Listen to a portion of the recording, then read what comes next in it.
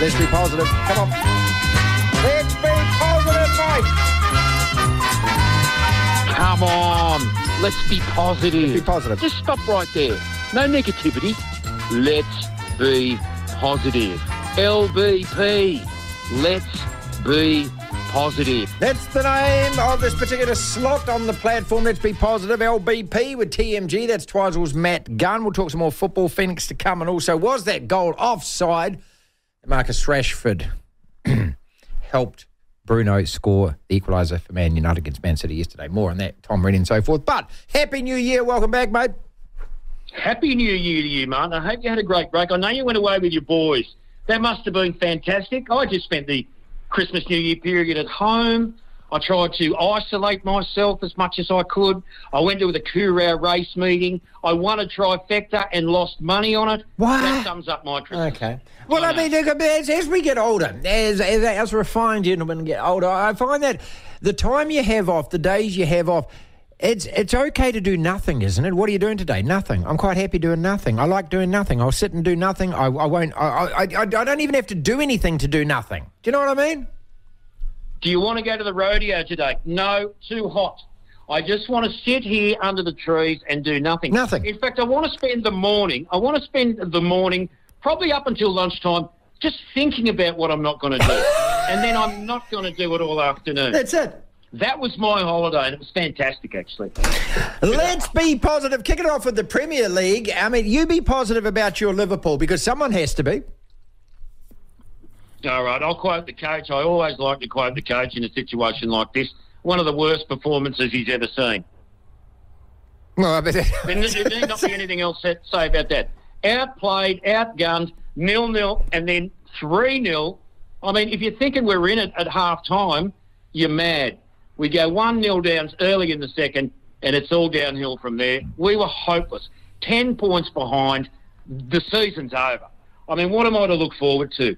NRL. That's yeah, what I'm looking that's it. That's to. what you're looking forward to. Yeah, Matt Gunn out of forward. Yeah. gotta look forward. Well, and we will talk about that today. Last year, the Australian government were deporting one of the world's most famous athletes. His name was Novak.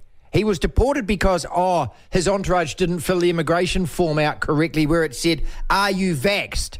Simple, simple yes or no box to tick that one, Matt. He's back this year. Who is more hated at the Australian Open? Is it Novak, the anti-vax, or is it Nick the Dick?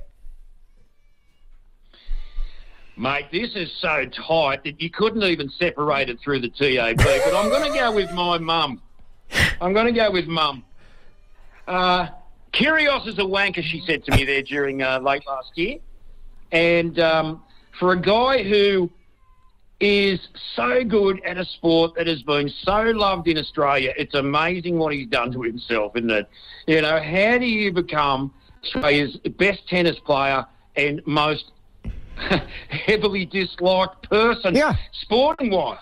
I mean, as much as you don't like Novak, and I've never been a big fan. Look, great tennis player, undeniable, but it's just always been something about him. Hasn't it? Early in his career, he he, he compared himself to Roger and Rafa, and said uh, called himself one of the greats. And from that moment, I'm not even sure, it's 10 or 12 years ago, he was only a very young man at that stage. I thought, I don't like you. We get to say that. You don't get to say that about yourself. It's, I just feel uncomfortable about that, and I've never liked him since. But I'm going with Nick the Dick. Yeah. There's no two ways Yeah, about it. yeah. I mean, and, and you know, You know? maybe if he won the Australian Open, maybe that might warm the public to him because Aussies like winners, winners are grinners, and all of that kind of thing. But he just, the- the- you know, I, I just can't see him a doing that because I don't think he's actually got what it takes to win seven matches. He got to a Grand Slam final, Wimbledon last year, and then of course he lost to Novak, and there are too many good players in that draw. But I also just, I, I, you know, nothing has fundamentally changed for me since that Wimbledon tournament that says, you know, he can. He's look, he, he, he, just splits opinion. Look, my kids love him, mate. They think he's great. Oh, he's got a great attitude. He's great for the game. All of that kind of stuff. I said the guy's just, he's just full of it and himself. And he's, and the, why would you? How could you like him? Yeah, I don't, I don't, I don't know how the younger generation do. Look, comparing with someone like Pat Cash or Pat Rafter, two Aussie greats who would have walked out onto that centre court and you wouldn't have been able to hear anything for 20 minutes. But you don't think, Kyrgios, you know, I, I'm, I'm surprised he hasn't wanted to try and insert himself into that role. Yeah. You know, the greatest role in Australian tennis has been the number one male player. Look where Ash Barty went. Yeah. You know, look what tennis meant to the Australian public, and yet Kyrgios can't. He just can't get anyone to, to, to be sympathetic to him or really like him. And I, I, honestly, I think most people watching the game hope for him to blow up now. Yeah, that's I mean, why you watch it. He is. He's a circus act. That's exactly. The I was- yeah, I was actually because I was thinking, you know, Lleyton Hewitt, the same. Come on, the Aussies. They love the battler.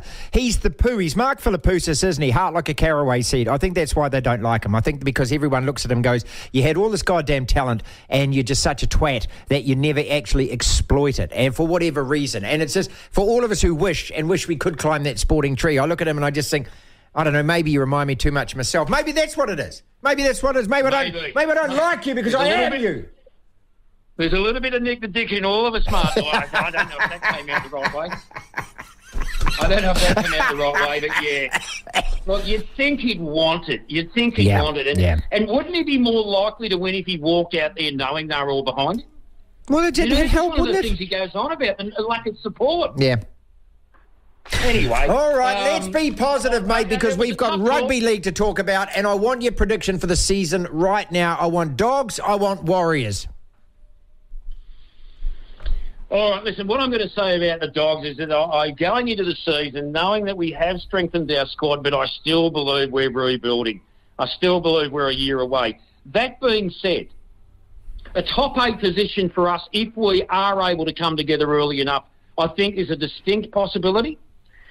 Are we in the area of top four and grand final? No, Uh, I'll answer that I, now. I, I mean, No. uh, well, you can answer. No, you're not, mate. Don't even go don't- there, mate. It's I just embarrassing for you. like- Stop it, mate. You're not, okay? I look at the Warriors the same thing, mate. If the Warriors make the top eight this year, that to me is a grand final win. Forget anything else. We're not even top four. We're not top six. We're playing for seventh and eighth with about six or seven other teams. That's reality.